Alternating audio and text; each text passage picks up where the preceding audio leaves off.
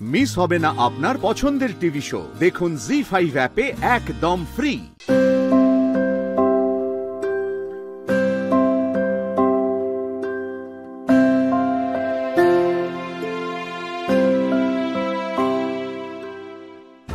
Sorry sir একটু দেরি হয়ে গেল। আমি তো আমার ক্লাসে পরে ঢুকতে দিলাম আর কখনো হবে না স্যার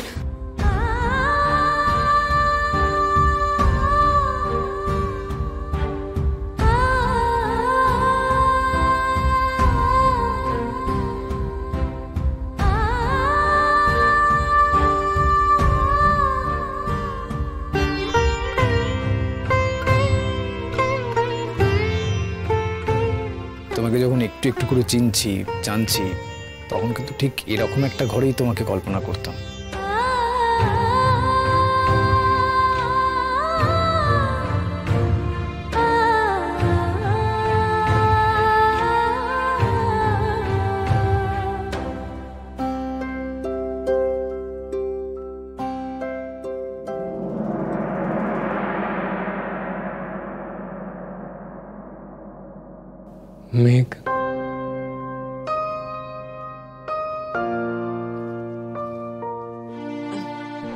বাপি তুমি? বসো না চলো। হুম।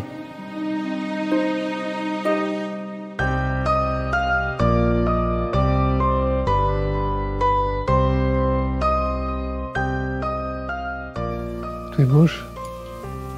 বস না।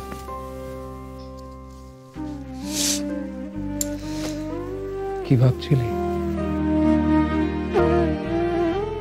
কিছু না বাপি। শুধু কিছু কথা, কিছু মুহূর্ত বারবার যেন আমার চোখের সামনে ভেসে উঠছে।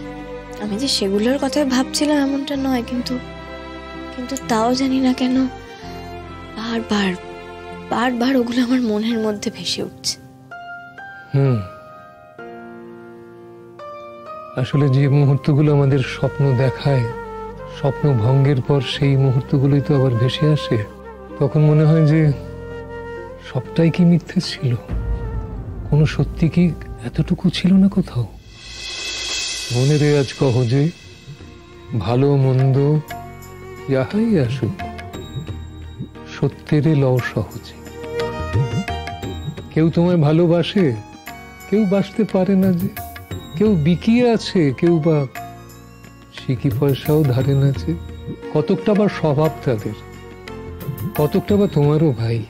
কতকটা এ ভবের গতিক সবার তরে নহে সবাই।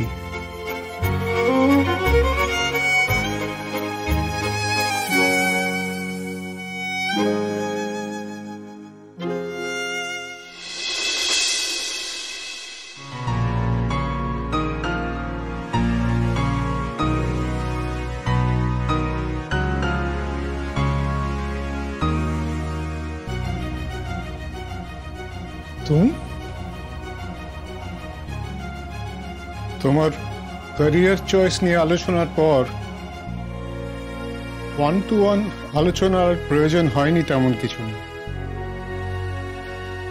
কিন্তু আজ মনে হচ্ছে তোমার সঙ্গে কিছু কথা বলা দরকার।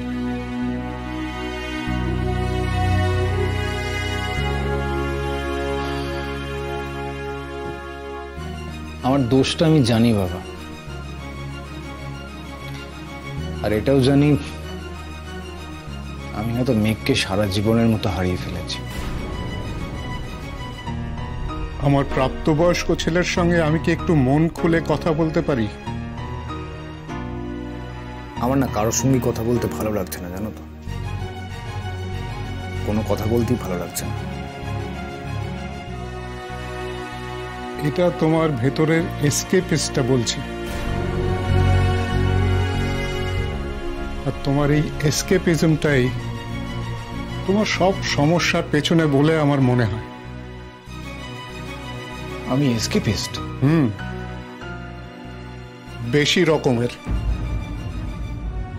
খুব খানিকটা কেঁদে কেটে অশ্রু ঢেলে ঘড়া ঘড়া মনের সঙ্গে এক রকমের করে নেড়ে বোঝাপড়া তারপরে আধার ঘরে প্রদীপ খানি জ্বালিয়ে তোলো ভুলে যা ভাই কাহার সঙ্গে কতটুকুন তফাত হলো।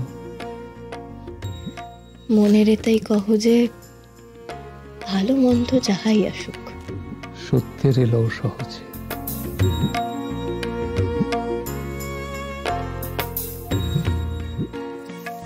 ভাবি আমার তোমার কাছে একটা কনফেশন করার আছে।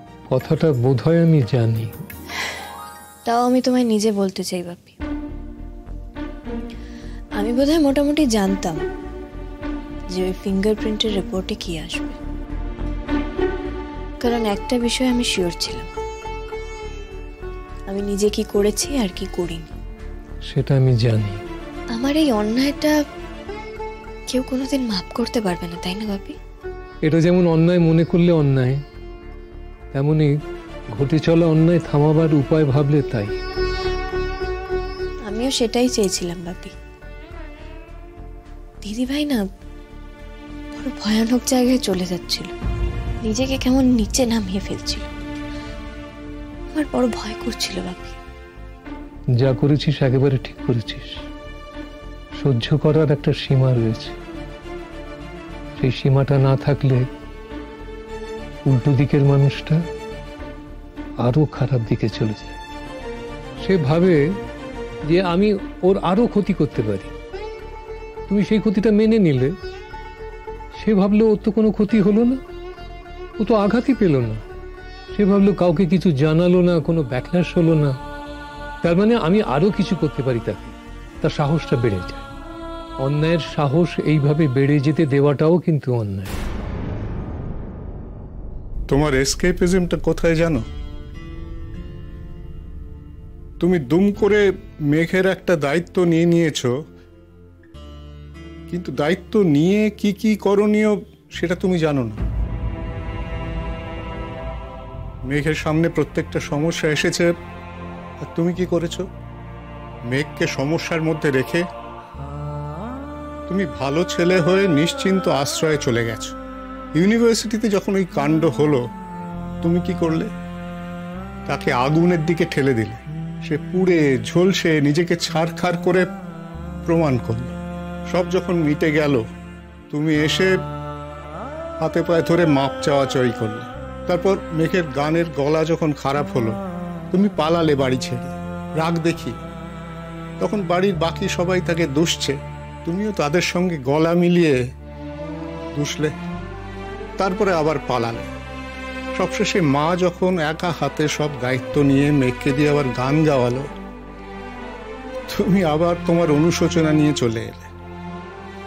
নীল, এটাকে স্বামীর কাজ বলে না। ভালোবাসার মানুষের এমন ব্যবহার হয় না। তুমি নিজের এই পালানোর মনোবৃত্তিটা সামলাও। মেঘের বিপদে তার হাতটা শক্ত করে ধরে থাকো। শুধু তোমার বিপদে তাকে পাশে পাবে সে আশা করলে তো হবে না। তার বিপদেও তোমাকে থাকতে হবে। আমি একটা ফিল্ড মানুষ বাবা। জি ফাইভ ডাউনলোড করুন আর সব এপিসোড দেখুন একদম ফ্রি।